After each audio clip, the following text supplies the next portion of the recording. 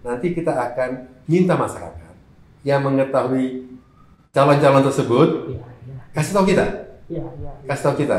Ya, eh, silakan tetangganya, temannya, sahabatnya, teman sekantor, Iya. teman SD, teman SMA, SMP, SMA, teman kuliah, kasih tahu kita supaya kita bisa melakukan apa ya mapping ya. Iya. Eh, kira-kira ini orang ini seperti apa gitu ya. Di, di, di dunia digital kalau pakai bahasa yang kan dia ngapain aja sih? Iya. Dia ngapain aja sih gitu ya? Eh, tidak ada sesuatu yang tidak ada kepentingan. Yang pertama ya. Hmm. Jadi bahwa tidak ada kepentingan itu adalah sesuatu yang mustahil. Tinggal kepentingannya siapa. Pelaksanaan pileg dan pilpres yang berintegritas akan dipengaruhi apabila KPU dan Bawaslu juga berintegritas. Anda sanggup nggak menghadapi kepenti- apa, benturan kepentingan ini? Tekanan bukan benturan, tekanan kepentingan. Nah kita kita coba cari orang yang seperti itu. Bahkan dengan adanya rekomendasi buat kita malah jadi bermasalah. Ternyata, Hmm. iya pasti bermasalah lah. Hmm, hmm, Jadi bumerang gitu ya? Jadi bumerang. Ternyata dia dekat dengan hmm. ormas A. Buat kita gampang. Begitu ada rekomendasi ya udah terprofil dia itu adalah Jadi sebaiknya tidak perlu rekomendasi. nggak perlu nggak ada di undang-undang.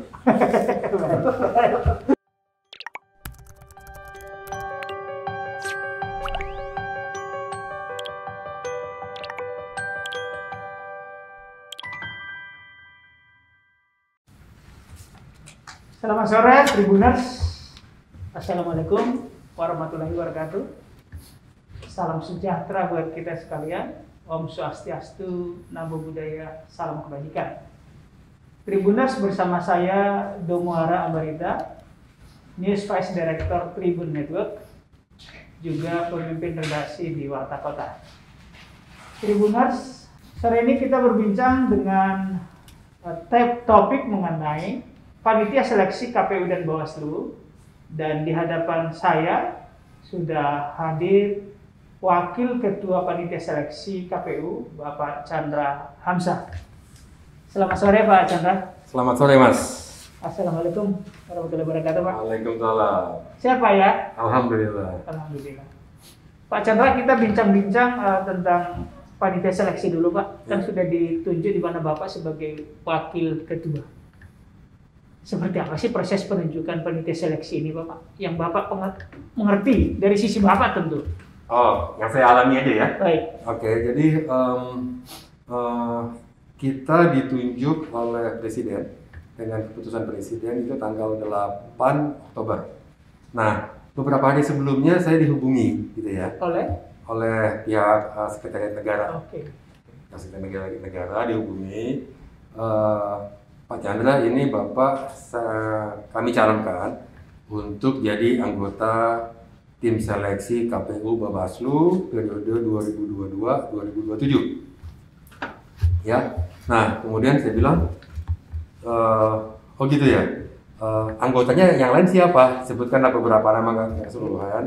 Disebutkanlah Bu Betty, eh, Wamen, Kumham, Pak Edi Hiraj, gitu ya. Ya sudahlah, oke lah, gitu ya. Eh, karena ini harus dibentuk eh, KPU Bawaslu baru itu nanti di bulan April. 11 April ya sudah. Jadi pikir masa kerjanya juga nggak terlampau panjang begitu ya.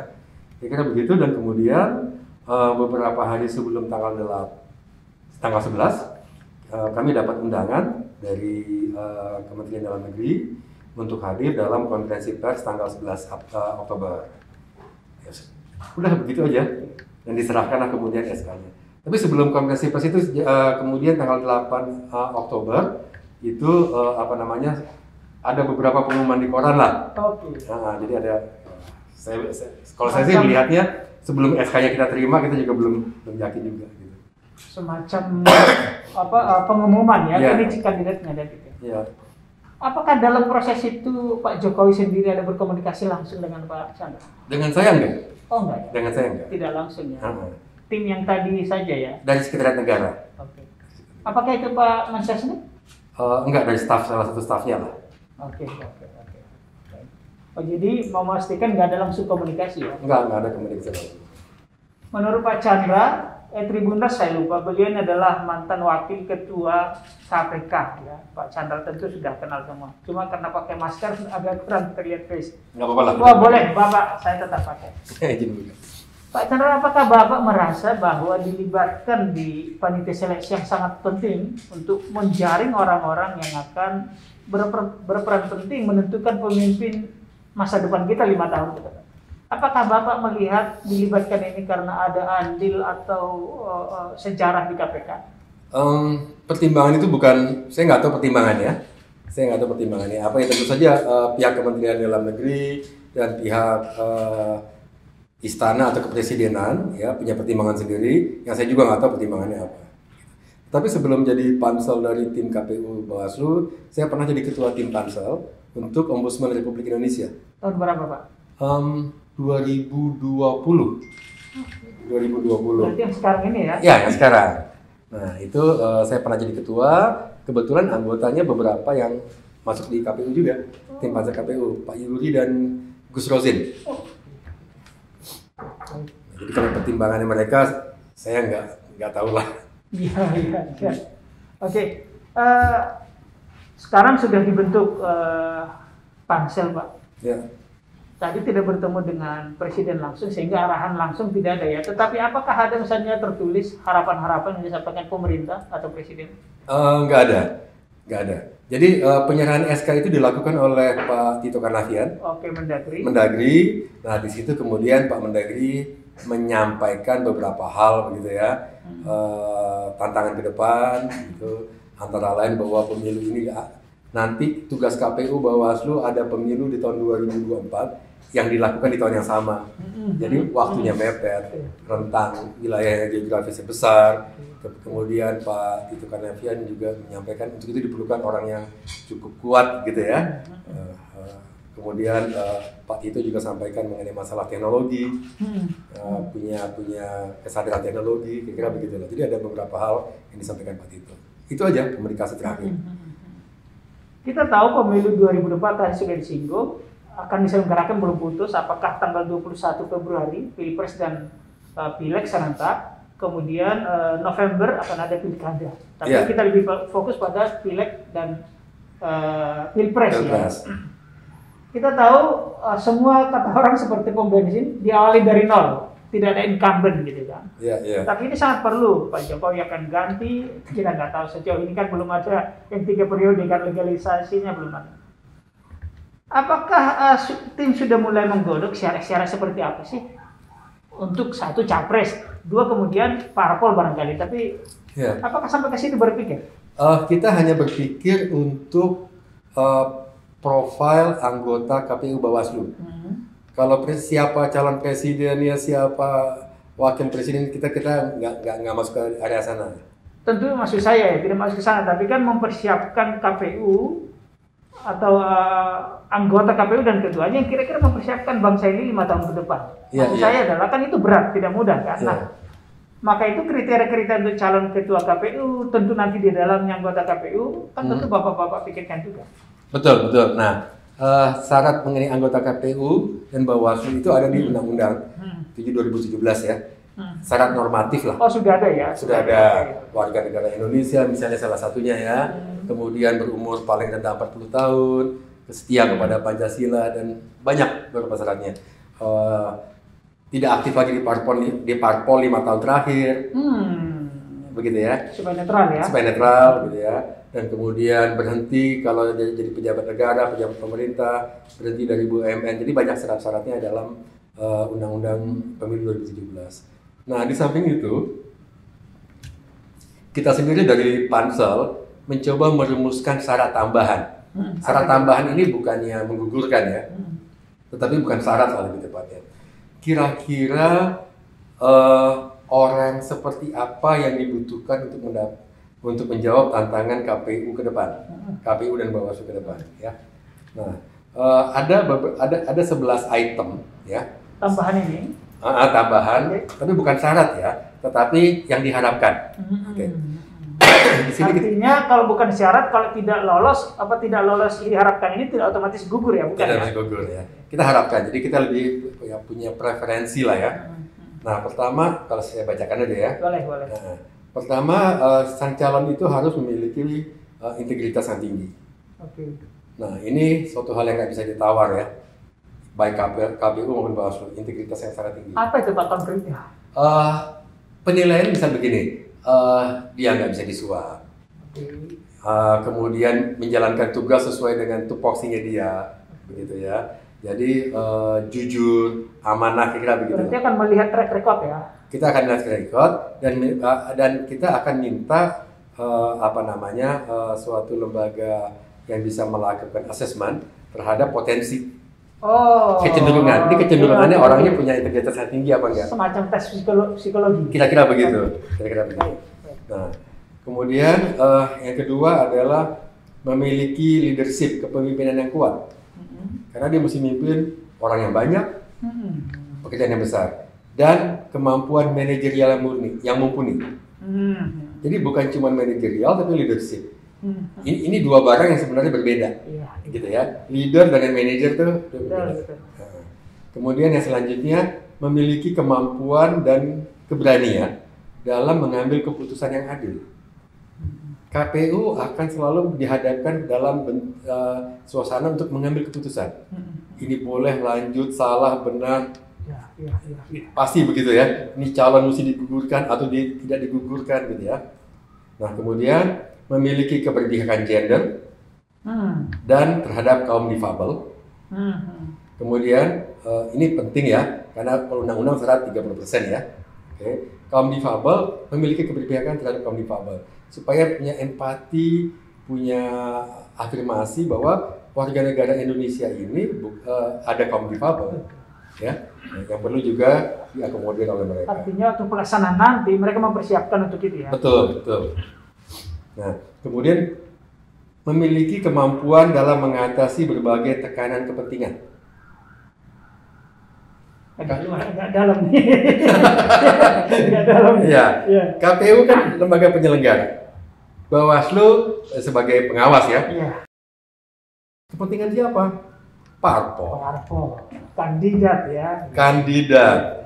Kepentingan siapa lagi? Kepentingan pemerintah. Iya. Masalah budget, masalah anggaran, masalah waktu gitu ya. Iya. Apalagi 2024 kalau salah ada PON ya rencananya. Iya 2004 pon di Aceh Sumatera Aceh dan Sumatera Utara ya betul. Persis gitu ya. Betul, betul. Nah, jadi kemudian kepentingan masyarakat, kepentingan stakeholder. Iya, iya. Nah, jadi harus mampu meng- eh, menghadapi berbagai macam kepentingan, ya. Dan itu eh, apa ya? Itu pasti akan terjadi. Ya. Bapak mau mengatakan ya orangnya tidak mudah disuap gitu kira-kira? Nggak mudah disuap, nggak mudah di pressure. Oke, oke. Eh, kepentingannya satu demi kepentingan negara. Iya. Gitu ya. Oke. Kemudian kemampuan untuk menghadapi tekanan waktu dan beban pekerjaan. Kalau waktu kita tahu waktunya pendek ya. Karena beban pekerjaan seluruh Indonesia. Kemampuan berkoordinasi dan berkomunikasi dengan berbagai pihak. Iya. Pihak eh, baik daerah, pusat dan daerah, pihak keamanan, pihak Kementerian Dalam Negeri gitu ya. Menyadari pentingnya teknologi dalam penyelenggaraan pemilu supaya sadar ini nggak gagap teknologi, Iya. nggak perlu ahli, tetapi eh, apa ya eh, dia paham teknologi ini Iya. bisa membantu, gitu ya. Kemudian kemampuan bekerja sama dalam tim, memiliki ke- kecakapan, teknis administrasi pemilu, yang terakhir mampu melakukan terobosan yang inovatif agar pelaksanaan pemilu dapat berlangsung secara efektif dan efisien. Ini 11, 11 item ya. Kita harapkan eh, dari tujuh yang terpilih paling tidak salah satunya, salah duanya atau keseluruhannya bisa mewakili ini. Oke. Kita harapkan begitu. begitu Tadi ya. ada elemen gaptek itu berarti kira-kira untuk menyongsong karena mengingat penduduk kita sekarang konon 40% ini eh, milenials ya. Mungkin apakah dia harus bisa misalnya katakanlah dekat dengan milenial atau mengel- mengelola akun medsos gitu? Iya, eh, apa? Nggak perlu. Artinya gini, nggak perlu dia ahli, Oke. tetapi dia, eh, dia punya kesadaran bahwa dengan teknologi beberapa pekerjaan itu menjadi lebih efektif, menjadi lebih efisien. Nah, pekerjaan apa saja? Tentu saja kita belum masuk dalam rezim pemilih secara e-vote, belum kan? Belum, belum belum. ya, gitu ya. iya. Nah, jadi hal-hal di lu- yang lain itu eh, kita juga belum belum masuk ke, dalam kesepakatan bahwa menghitung suaranya juga elektronik belum Iya, juga. iya, iya. Tapi ada hal-hal lain yang eh, mungkin bisa diperkenankan bahwa teknologi itu membantu dalam pelaksanaan pemilu. Apalagi seperti pemilu sebelumnya sudah mulai menggunakan Betul. itu sebagai pembanding ya, Betul, pembanding ya. betul, betul. Apa rekap rekap data dari daerah. Betul, betul. Pak, kita lanjutkan. Memang eh, tidak ini tidak merujuk pada salah satu orang gitu, tapi Ya. kita pernah tahu bahwa di KPU ada kasus Januari tahun lalu Ya, seorang uh, komisioner KPU ketika hendak berangkat ke tugas ke daerah ke Bangka ternyata dicopot KPK. Bapak sendiri pernah di KPK. iya. Pada ranking berapa sih tingkat integritas ini uh, pansel akan letakkan untuk kandidat? Kita akan integritas itu kita letakkan di nomor satu. Boleh dielaborasi Pak? Nah, kira-kira begini. Eh, pertama bahwa KPU ini adalah penyelenggara pemilihan umum yang akan menghasilkan yang akan menyelenggarakan pilpres dan pileg. Ya, presiden terpilih itu pemegang kekuasaan. Pileg yang menang partai pemenang pemilu pemegang- kekuasaan juga. Kekuasaan ini eh, sangat menggoda, sangat menggoda ya. Dan eh, para peserta partai peserta pemilu eh, akan berupaya secara maksimal, gitu ya. Nah, jangan sampai, jangan sampai mereka ini tergoda, tergoda. Mungkin ada oknum-oknum yang ingin memaksimalkan upayanya, ya.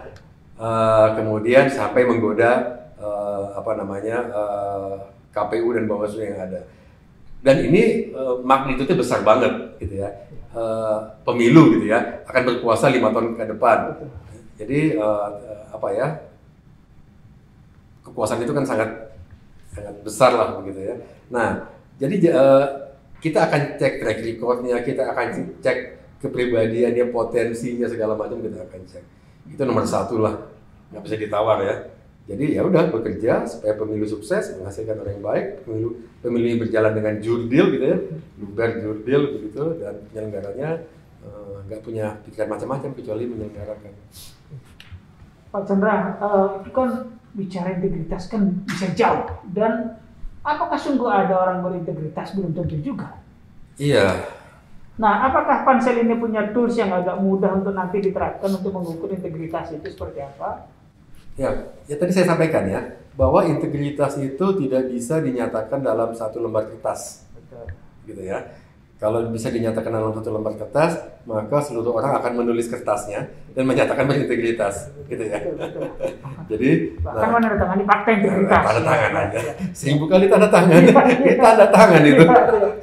Nah, jadi tidak bisa dilaksanakan apa tidak bisa dicerminkan dalam selembar kertas. Nah, ada bab-bab atau kertas-kertas yang bersangkutan sebelumnya Oh, track record. iya, iya, Ya, iya. nah jadi track recordnya kita akan cari. Iya, Ya, iya. Dari temannya, dari sahabatnya, dari tetangganya, dari siapa pun, dari eh, siapa pun track recordnya. Oleh karena itu nanti eh, pada saat posisi untuk KPU 24 calon, bakal calon, 24 bakal calon dan Bawaslu 20 bakal calon. 24 dan 20 ya. Nah, eh bukan, maaf, 28 KPU 28. dan 20. Oke. Nah, 28 bakal calon KPU dan 20 bakal calon KPU eh, Bawaslu, nanti kita akan minta masyarakat yang mengetahui calon-calon tersebut Iya, iya. kasih tahu kita, Iya, kasih tahu kita. Ya, eh, silakan tetangganya, temannya, sahabatnya, teman sekantor, teman SD, teman SMA, SMP, SMA, teman kuliah, kasih tahu kita supaya kita bisa melakukan apa ya, mapping ya. Eh, kira-kira ini orang ini seperti apa gitu ya. Nah, eh, itu yang kita harapkan nanti. Karena dari 28 itu kita akan peras lagi menjadi 14, kita serahkan ke Presiden untuk KPU, dan dari 20 kita peras eh, 10 eh, Bawaslu kepada Presiden. Nah, track record itu menjadi penting banget, penting sekali ya, menjadi penting sekali. Nah, di samping itu, eh, secara keilmuan, kebetulan kita juga ada psikolog, Hmm. Prof. Hamdi Muluk gitu ya. Hmm, iya. Prof. Hani Muluk ya dengan keilmuan beliau uh, seorang psikolog gitu ya kita uh, kita uh, minta apa beliau akan melakukan assessment ya mengarahkan lembaga assessment untuk uh, memprofile ini orang punya kecenderungan apa Nah, secara keilmuan tuh uh, toolsnya ada lah. Iya. Toolsnya ada lah. Bahwa seperti beginilah, saya ambil contoh lah. Uh, setiap orang begitu dites, dia punya kecenderungan jadi follower, umpamanya. Hmm. hmm, Gitu hmm. ya. Iya, iya. Nah, dia punya ke- kecenderungan uh, jadi uh, trendsetter. Nah, Ya, ya, ya, ya. ya. itu itu bisa kelihatan Iya, gitu ya. iya. Nah, dia atau dia punya kecenderungan jadi mediocre gitu. Iya. itu, itu, itu, itu bisa bisa Itu perlu untuk unsur leadership tadi ya. betul untuk segalanya. Ya, untuk ya. segalanya ya bisa dipotret Ya, nah ya. potret itu yang kita mau. Pak Chandra tadi mau menyebut akan melibatkan mengundang partisipasi masyarakat. Nanti akan diumumkan lewat apa? Email atau surat atau apa? iya kita akan umumkan di media Oke. media baik email website segala macam lah ya Baik. khususnya yang yang kita minta adalah pada saat posisi 28 Mhm. bakal calon anggota KPU dan 20 bakal calon anggota Bawaslu Artinya yang sudah diproses, yang yang sudah diproses iya jadi sudah sudah lolos uh, tes administrasi lolos tes makalah gitu ya nanti posisi 28 itulah posisi yang kritikal karena di situ peran pansel menjadi sangat uh, tinggi sekali Baik. ya untuk menilai dari 28 calon. Baik. Pak untuk track record sebagian di tempat lain kan ada juga lembaga-lembaga yang punya data itu. Badan Ya. intelijen kepolisian, apakah pansel akan melibatkan mereka-mereka ini? Ya, jadi kalau kita bicara ya mengenai track record, orang banyak track, track record ya. Pertama jejak ya, track record atau jejak ya. Betul. Oke, kita akan lihat misalnya jejak kriminalnya dia. Hmm. hmm, hmm. Oke, siapa yang bisa memprovide kita data mengenai jejak kriminal? Baik. Kan tentu saja kita nggak mau- di undang-undang dibilang nggak boleh dihukum lima tahun ya. Iya. hukum pidana yang ancaman hukumannya maksimal lima tahun. Nah, kita akan minta bantuan dari kepolisian, dari kejaksaan, dari KPK, kemudian dari uh, uh, Mahkamah Agung, Mahkamah Agung, ya, pengadilan, oke. pengadilan ya. Kita akan minta bantuan mereka. Ini ada jejak kriminalnya nggak? Gitu ya, Jejak kriminal. Nah, kemudian uh, termasuk ya jejak etisnya dia, kita minta DKPP ya. Hmm. DKPP kan Oke. menyidangkan Ya, banyak ya, ya, ya, ya, gitu ya. ya. Dari KPK juga kita minta bantuan. Nah, selain jejak kriminal, kita juga eh, akan track eh, mengenai jejak finansial. Hmm. Jejak, Hmm. jejak finansial dia pernah quote unquote ngemplang apa enggak? Ya, ya, Pak. Karena kalau orang yang pernah ngemplang itu rentan gitu ya. Iya, iya, iya, ya, iya. punya hutang yang nggak kebayar apa enggak? Pernah dinyatakan pailit apa enggak? Iya, iya. Rentan sekali gitu ya.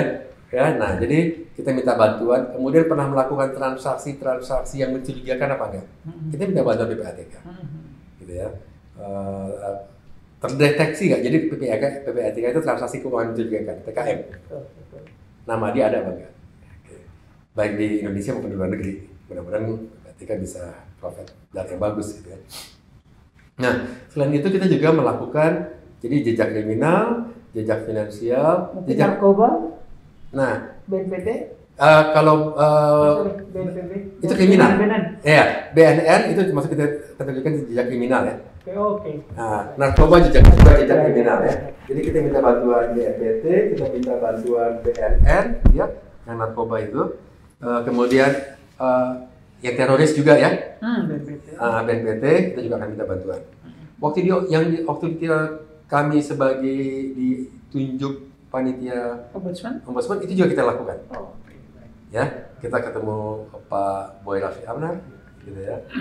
Eh, kemudian kita ketemu Pak Heru waktu itu, Hmm. eh, BNN ya. BNN. ya nah eh, itu juga kita lakukan nah itu kita masuk kategorikan sebagai jejak kriminal nah kemudian eh, ada lagi jejak digital Oh, iya, iya. jejak digital Iya. oke dia secara finansial nggak apa- secara finansial dia oke secara kriminal enggak gitu ya Iya. nah di, di, di dunia digital kalau pakai bahasa yang kan dia ngapain aja sih Iya. Iya, iya, iya. Iya. dia ngapain aja sih gitu ya ya jadi jejak digitalnya kita akan akan akan, akan telusuri lah Apakah itu juga berarti akan masuk sedikit nyerempet ke moral? Eh, ba- bukan bukan bukan cuma itu jadi kita mau lihat apa yang terjadi apa yang dia lakukan di di, Oke. di, di, jejak di jejak digital dia Ya. itu serah gitu ya Ya, ya. Karena itu juga akan memotretkan sosok dia ya. persis Masa persis lalu ya. persis Ya. persis Ya. persis gitu ya Ya, ya. kadang-kadang jejak digital itu kejam ya Iya, iya. Lebih kejam dari ibu kota katanya. nah kita, kita akan eh, tracking jejak digital mereka Nah, gitu ya Eh, apa namanya itu itu dari standar lah ya nah kemudian yang lain kita coba coba tracking eh, katakanlah jejak sosial dia tetangganya Oh sampai berarti akan Kita- berkunjung ke tetangga juga. kita akan coba Apa yang perlu di sana? Iya pergaulan dia di di lingkungannya bagaimana Tadi Pak Chandra juga mau mention tentang Pancasila.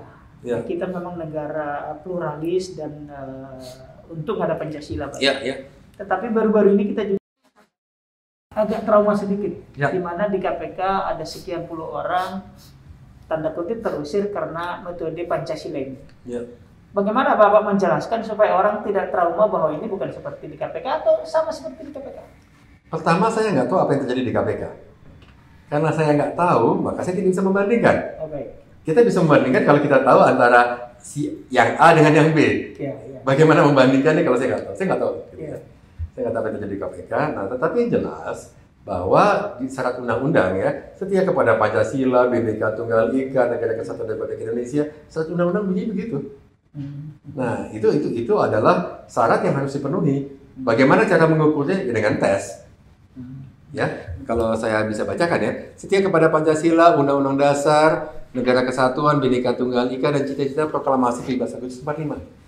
Ini syarat undang-undang. Ya, Eh, kebetulan saya eh, lawyer ya. Iya. Undang-undang ngomong begitu, ya kita jalankan. Kita jalankan dan itu nggak ada nggak ada kompromi lah. Nah, bagaimana cara mengukurnya? Ya kita kita bicara dengan beberapa ahli lah. Bagaimana cara mengukurnya begitu. Artinya Pancasila ini nanti yang akan dikorek antara lain soal ideologi dia ya? Mungkin Eh, pemahaman dia. pemahaman. Ya kalau ideologi itu eh, mungkin ada di pikirannya dia kali ya. Cuman pemahaman dia Ini pemahaman ya? Eh, eh, Oke, eh, baik. Pemahaman dia eh, tentang Pancasila, komitmen dia dengan terhadap negara kesatuan, terhadap Bhinneka Tunggal Ika. Nah, pemahaman yang itu yang kita coba gali gitu ya. Ya. Baik Pak Chandra dari saya rasanya cukup. Ini teman-teman saya ada juga Kang Cecep, editor senior di Tribun dan Mas Dodi, eh, koordinator peliputan Polhukam Tribun di Jakarta. Silakan kalau pertanyaan ke Pak Chandra. Chandra, terima kasih atas waktunya. Ini kan penyangkut independensi nih Pak. Ini kan ditunjukkan Pak Juli sebagai ketua ini kan eh, cukup eh, kontroversi juga ada suara kritis lah. Apakah bisa eh, Pak Maslu eh, independen dengan ketuanya Pak Juli yang eh, kita sudah tahu bahwa dia representasi, dari istana. Bagaimana Pak Chandra untuk mengeliminir apabila terjadi kepentingan-kepentingan dari istana itu. Sementara kan Pak Chandra dari independen. Iya, eh, apa namanya ya? Eh, Kalau Uceng atau Zainal Arifin Mokhtar bilang masalah eh, segmentasi perwakilan dari masyarakat, akademisi, dari pemerintah itu, itu sebenarnya sebenarnya tidak tidak terlampau relevan lah ya. Undang-undang nyebutnya begitu ya sudah gitu ya. Nah, jadi memang eh, apa namanya keterwakilan itu representasi dari akademisi, dari wakil masyarakat, dari pemerintah itu eh, apa boleh buat terwakili harus terwakili karena undang-undang nyebutnya begitu gitu ya. Nah kemudian ini kan ketua ini kan kalau pepatah bilang ya eh, didahulukan selangkah ditinggikan Eh, ya, kira begitulah ya. Jadi koordinator aja, koordinator aja. Ya, Hak suaranya sama, hak suaranya sama, dan kemudian eh, dia nggak punya, dia tidak punya pre- ketua itu nggak punya privilege apa pun, Hmm, tidak punya hak veto. nggak punya hak veto, Oke. ya. Padahal itu kan normatif boleh. ya? Didahulukan selangkah, ditinggikan setindak gitu ya. itu kan normatifnya begitu Pak. Ya. Itu kan yang eh, dipersepsi oleh masyarakat ya, ya normatifnya begitu. Tetapi seandainya eh, di perjalanan misalnya itu ada kepentingan eh, mewakili istana, kira-kira Pak Anda sebagai wakil ketua eh, pansel dalam hal ini mewakili independen, apa yang bisa dikerjakan atau dieliminir oleh Pak Hamzah untuk mengeliminir kepentingan tadi Pak? Oke, sekarang hal pertama bahwa eh, tidak ada sesuatu yang tidak ada kepentingan.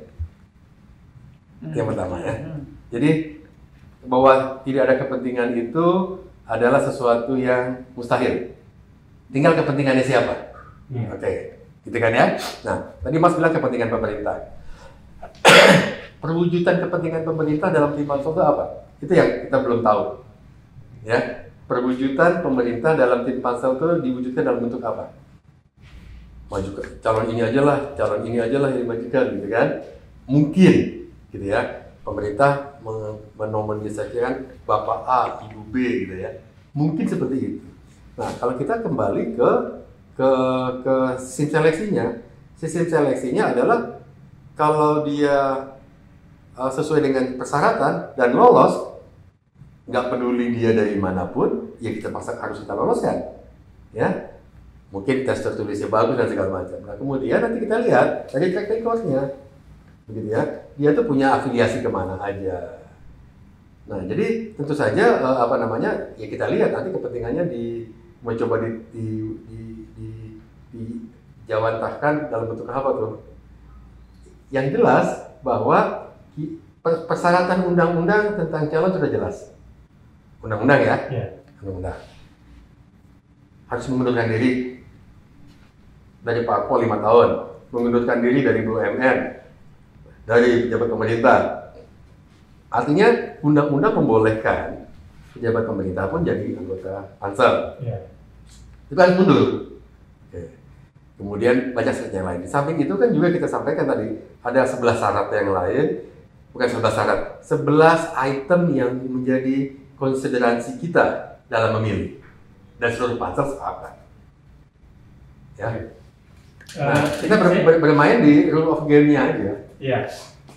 Eh, ini saya lanjut, masih lanjut soal ini, eh, Bang Karana. Ini eh, ya untuk bertanya konfirmasi dari suara-suara yang ada di masyarakat. ya. Ya.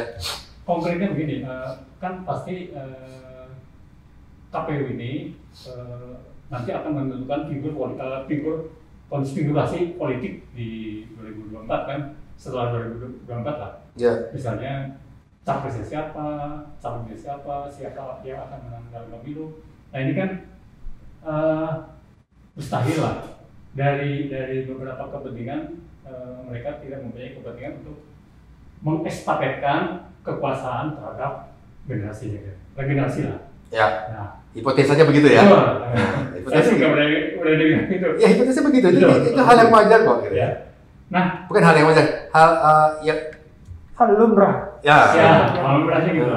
Nah. Ketika terjadi seperti itu, misalnya dari anggota pansel yang uh, mewakili pemerintah, terutama yang dari istana, kira-kira pansel seperti apa sikapnya? Terutama untuk mengeliminir Mungkin pertanyaan Kang Cecep ini Pak Hamzah ini sebagai sosok yang ini punya integritas yang pernah di KPK kira-kira gitu. Pak. Ya, itulah. Karena gini. yang kita harapkan ya sosok Pak Hamzah. Gini, gini, gini. Pertama, kita perlu fragmentasi. Pilpres dan pilegnya sendiri Hmm. dengan pemilihan KPU dan Bawaslu sendiri. Hmm. Itu kita perlu pisahkan. Ya, ya, ya. Ya. Nah, sekarang kita dalam tahapan KPU dan Bawaslu. Hmm.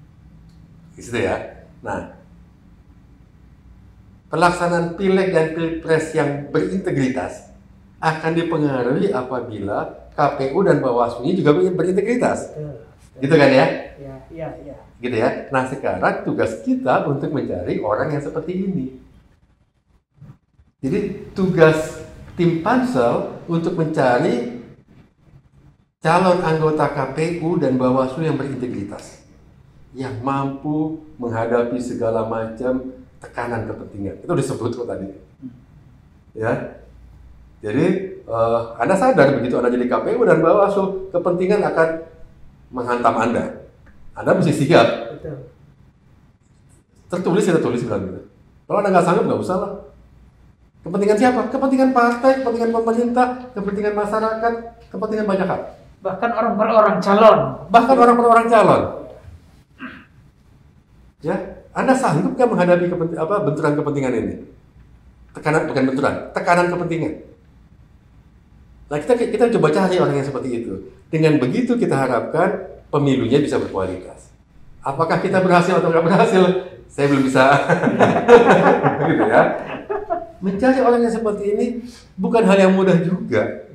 Bukan hal yang mudah juga. Nah, kalau saya berani berani apa bilang ya, tim pansel sekarang punya tekad yang sama. Mencari orang yang punya integritas tinggi, mampu menghadapi tekanan, ya punya leadership, berani ngambil keputusan yang adil. Ada 11 item. Iya.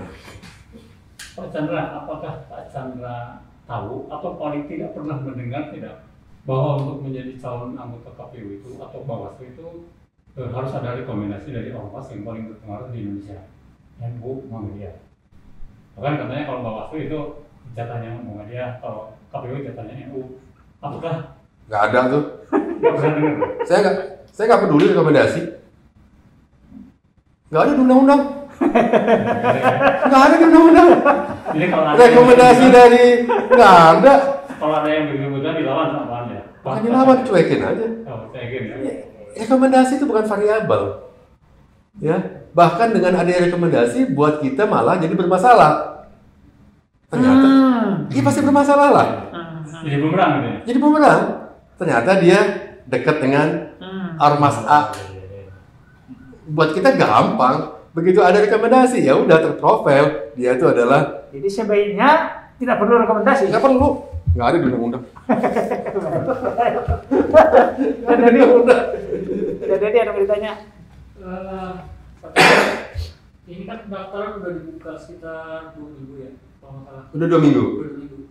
Eh, sejauh ini sudah berapa orang yang eh, mendaftar? Terus eh, yang kedua eh, pertanyaan saya tuh eh, dari tim sel sendiri eh, waktu yang ditargetkan untuk menjaring eh, anggota KPU dan calon anggota KPU dan Bawaslu ini berapa lama? Iya. Persisnya eh, per hari ini ya, persis yang jelas per kemarin itu sekitar 30 sampai 40 orang baru. Ya, itu ada dua minggu dan waktu itu tinggal dua minggu lagi.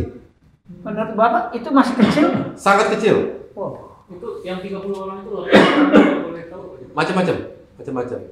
Bahkan juga agak-agak aneh buat saya ada yang umurnya dua, di bawah 40. Padahal undang-undang mengatakan harus 40 Berarti itu langsung gugur. langsung lah. Mau gimana lagi? Undang-undang nyebutin begitu, masa kita loloskan? imbauan Pak Chandra Pak akan masih kecilnya animo ini. Iya, kita kita berharap begini deh, media massa ya Tribun gitu ya, kemudian LSM segala macam, tolong didorong untuk yang baik-baik mendaftar lah, ya. Eh, paling enggak eh, saya pribadi akan bilang bahwa proses di tim sel ini akan berlangsung secara fair. Saya akan saya akan fight untuk proses ini fair. Saya akan fight untuk proses ini fair. Gitu ya. Di, di, di tim sel ya ya. Sehingga uh, uh, sementara kalau proses berikutnya di DPR itu kan beyond our uh, Iya. my control gitu ya. Iya, iya. itu di luar kontrol kita. Tapi setidaknya masukan dari pansel sudah betul hormat. betul. Nah saya kalau di pansel saya berani bilang saya akan fight untuk fair. Kalau yang nggak fair akan saya lawan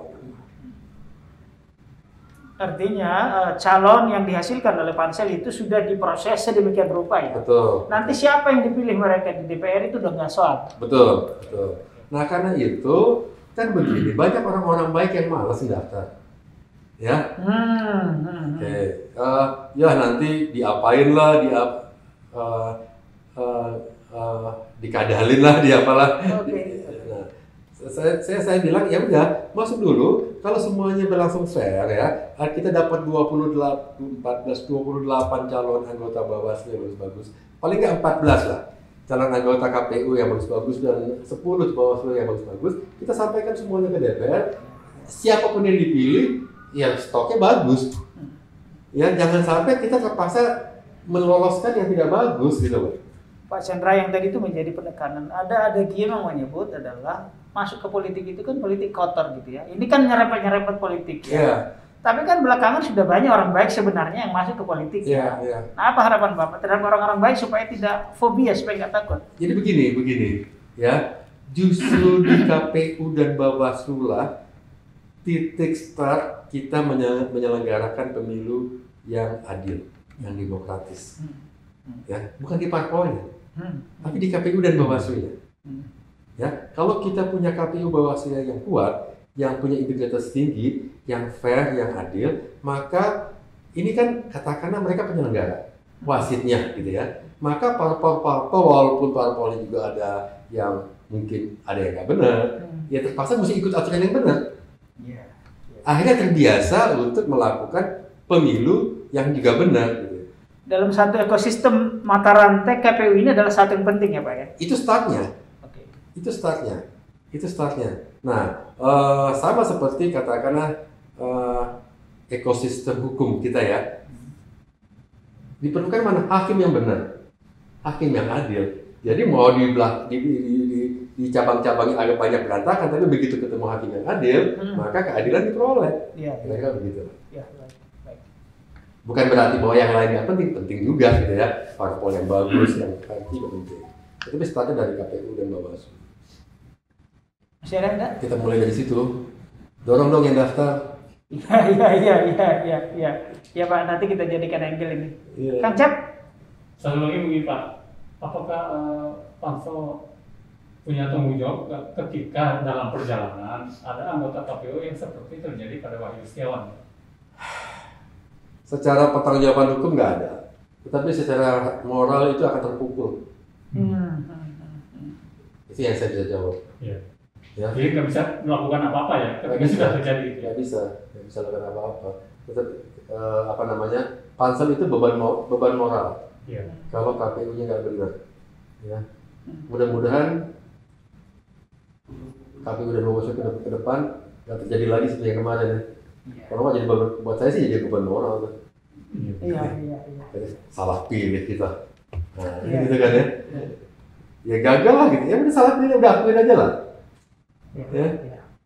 ternyata kita salah pilih Iya. ternyata kita salah pilih Baik. Tribuners, kita eh, rasanya tiba di ujung acara. Sebelum penutupan, silakan Pak Acara. Mungkin ada closing statement. Iya sama seperti tadi sebenarnya pengulangan ya bahwa uh, demokrasi kita dimulai demokrasi yang baik di Indonesia perjalanannya dimulai dari penyelenggara pemilu yang kredibel, yang penuh integritas, yang kompeten. Nah uh, penyelenggaranya adalah KPU yang kemudian diawasi oleh Bawaslu. Karena itu kalau ingin membuat negara Indonesia negara demokratis apa eh, negara Indonesia lebih demokratis artinya demokrasi yang yang adil yang jujur yang berintegritas eh, saya kami dari tim seleksi minta eh, kita mulai dari sini mendaftarlah menjadi calon anggota KPU dan Bawaslu Baik, terima kasih Pak Archandra pada atas kesempatan untuk wawancara ini. Tribuners, terima kasih atas kesetiaan Anda menonton kami di live dan juga di bincang-bincang ini. Saksikan kami pada kesempatan-kesempatan berikutnya. Selamat sore. Wassalamualaikum warahmatullahi wabarakatuh. Terima kasih.